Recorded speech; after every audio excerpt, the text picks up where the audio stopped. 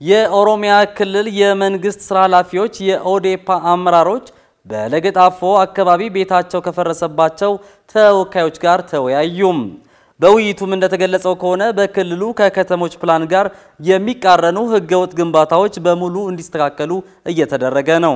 ህግን በማስከበር ሂደት ችግር የፈጠሩ የጸጥታ አካላት ካሉ ተጣርቶ ተገቢ እርምጃ ይወሰዳል።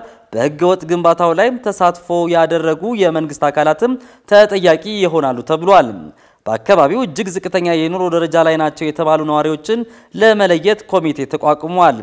ማጣራትም አድርጓል።